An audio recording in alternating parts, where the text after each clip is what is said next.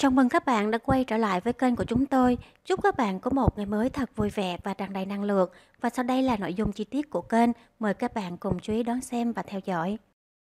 Phan hiện tiết lộ tính cách của ba ruột, nhắn gửi ba từ đông đầy tình cảm.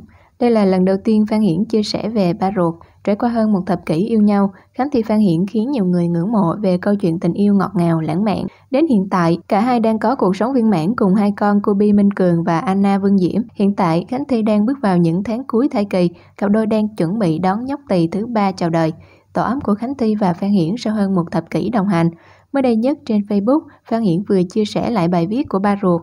Đây là lần đầu trong suốt những năm hoạt động nghệ thuật.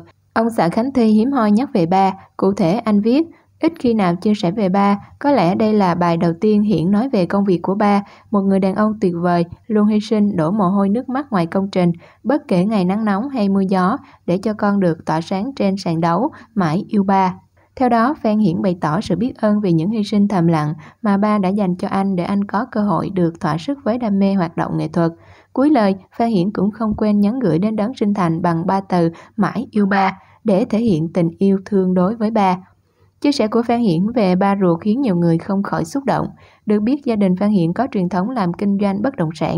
Ông bà ngoại của Phan Hiển là những doanh nhân có tiếng tăm tại Sài Gòn.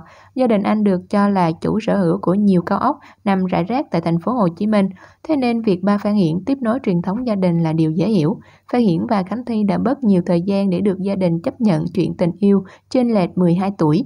Nữ hoàng Dan Sport từng tiết lộ có mối quan hệ thân thiết với gia đình chồng, được bố mẹ chồng yêu thương và chiều chuộng.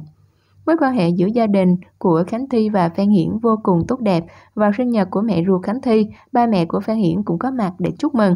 Khánh Thi khiến nhiều người ganh tị khi được mẹ chồng mạnh tay chi 100 triệu đồng để mua đồ hiệu tặng con dâu. Phan Hiển từng chia sẻ, trước đây bố mẹ còn đứng ra làm trung gian hòa giải, do họ coi chuyện các con xích mích là thường tình, mặc kệ hai đứa tự giải quyết, nếu lên tiếng, ông bà bên con dâu hơn con trai. Bản tin của chúng tôi đến đây đã kết thúc. Cảm ơn các bạn đã quan tâm và theo dõi. Hẹn gặp lại các bạn ở những bản tin tiếp theo.